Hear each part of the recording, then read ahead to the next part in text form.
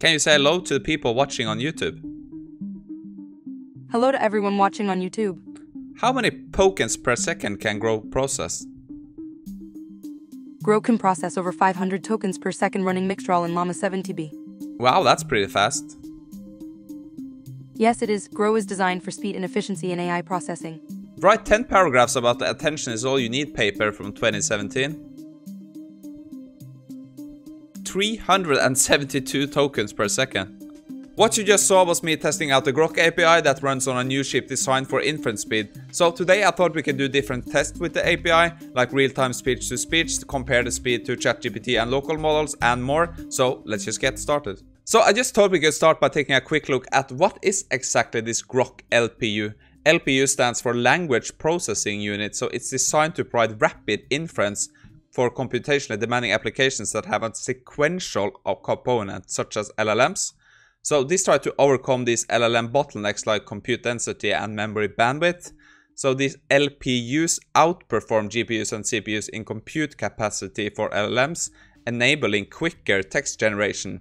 So one thing about these LPUs that you cannot use them for training. That means that they are not competing with NVIDIA to train models. So they're just focusing on the inference market. I thought that was pretty interesting. So they have 230 on-die SRAM per chip and up to 80 terabytes per second on-die memory bandwidth. So yeah, I thought that was just a quick intro to kind of the Groq chip.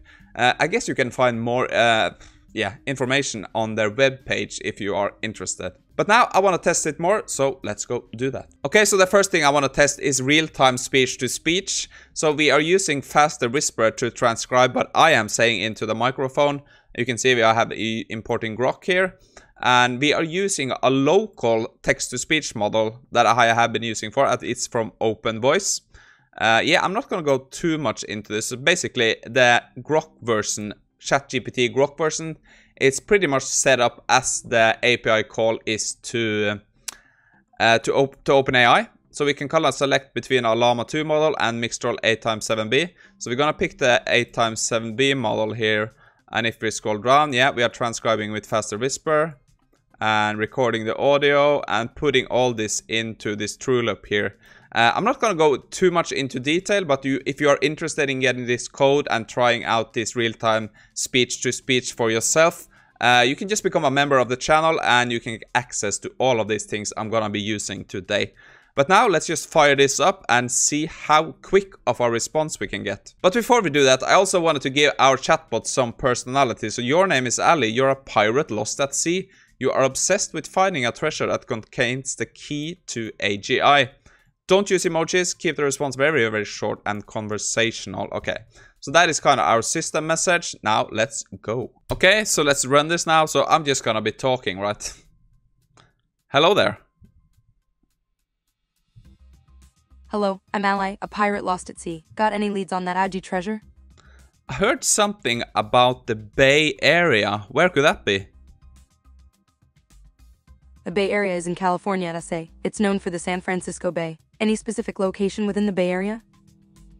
Something about a big company's headquarters. Aha, you might be referring to Silicon Valley, where many tech companies like Google and Apple have their headquarters. Could the treasure be there? That's what I heard. Intriguing. I'm heading towards Silicon Valley then. With some luck, we might find the treasure and the key to Agi. How are you traveling to Silicon Valley then? I've managed to find a seaworthy boat. I'll sail towards the Californian coast and then make my way to Silicon Valley. What's your plan when you get there? Once I reach Silicon Valley, I'll gather information from locals and businesses, hoping to find clues about the treasure's location. I'll also look for any edge-related research facilities. What if you find the treasure? If I find the treasure, I'll first ensure the key to Agi is safe. Then I'll share the rest of the treasure with my loyal crew as promised. We'll celebrate our success.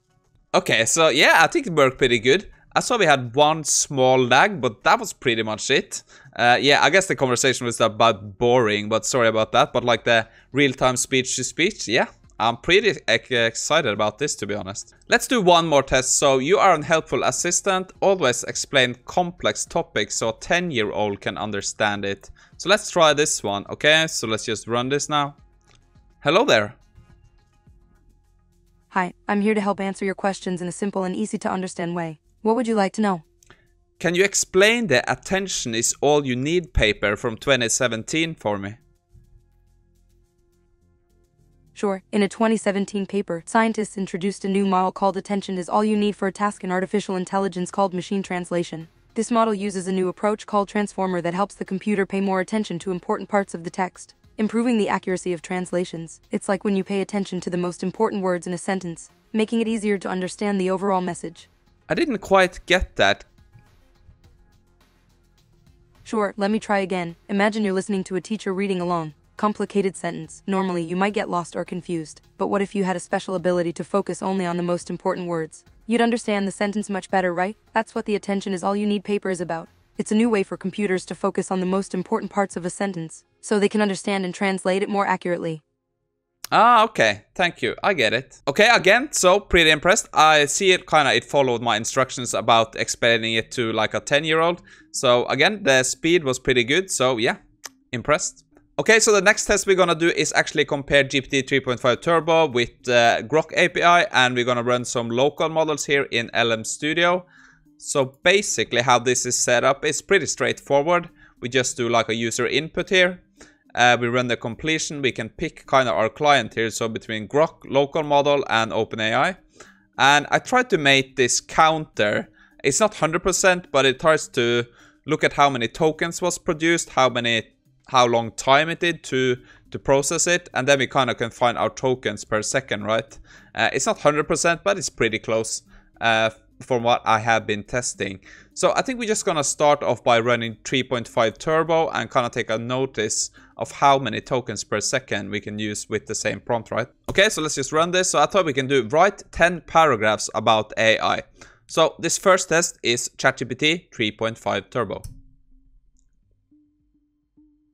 Okay, so it's pretty fast, right? It clocks in at how many tokens per second? 83. That's pretty good. 9 seconds and 760 tokens.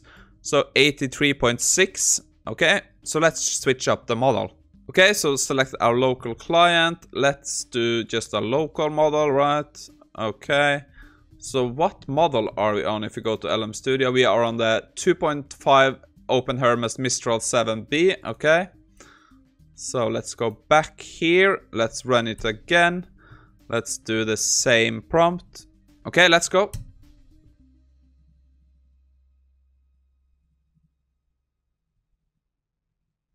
Yeah, okay, this is pretty fast too, I would say. Yeah, not bad. 34 seconds per... Uh, 34 tokens per second. So this is running on my local PC, right? Let's try to switch up to a smaller model and see how that performs. Okay, so I selected the Phi 2 model. This is a 3 billion parameter model. So let's try that now. Okay. Yeah, you can see this is a bit faster, but the, the performance, of course, is lower. So I guess it's like uh, 77 tokens per second. That's pretty fast.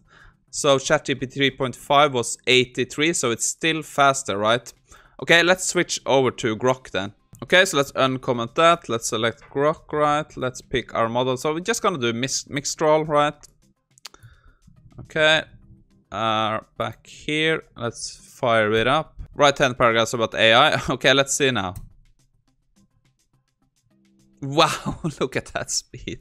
833 tokens, 2.0 seconds, 417 tokens per second. That's just crazy. So let's take a look at actually, yeah, I, I kind of like the Mixtral models. I think they are very good. So the thing is like, maybe the models is not as good as 3.5, but Mixtral is pretty close to 3.5. I would say Mixtral 870 is a 3.5 model, so the the actual performance or the content should be pretty good. But 417 tokens. Crazy, right? Okay, so the next test I want to do is some chain prompting. So basically what we're gonna do, we're gonna run the Groq API again. Pretty much the same setup. Uh, but here we have a function called simplify. So basically what this does is, it runs a for loop with a range. So we're gonna set it to 10, I think. So we start off with this pretty big text here about uh, large language models.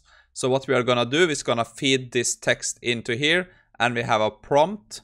So this prompt is gonna be simplify the text above and when we get the answer, the simplified version, we're gonna take that answer, feed it back into the loop and simplify that answer again. So the hope is that we kind of get down to maybe like one sentence or something. So yeah, just let's let this run and see what kind of answers we can get here and see how fast it goes uh, using the Groq API, right? Okay, so let's fire this up.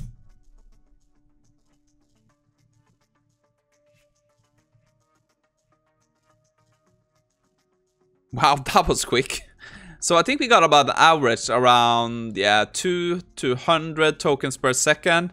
And this is kind of what we ended up with. So we ended up with two sentences, shortened and simplified text. So we went from all of this down to, yeah, these sentences. Uh, I don't know how good this is, but the point is was to do like chain prompts uh, and see how fast it was. So that was, you can say we spent around below one second for each loop. So that was around maybe eight seconds for that total full loop. So pretty impressive. Okay, so that's what I wanted to share with you today. Hope you enjoyed it. If you want access to any of the scripts I have been using in this video, just follow the link in the description, become a member of this channel, and I will invite you to our community GitHub. You will also get access to our Discord. So a big thanks to Groq for inviting me to this early access for the API. I really enjoyed it, and I'm gonna be doing some more testing. But for now, have a great day, and I'll see you again on Wednesday.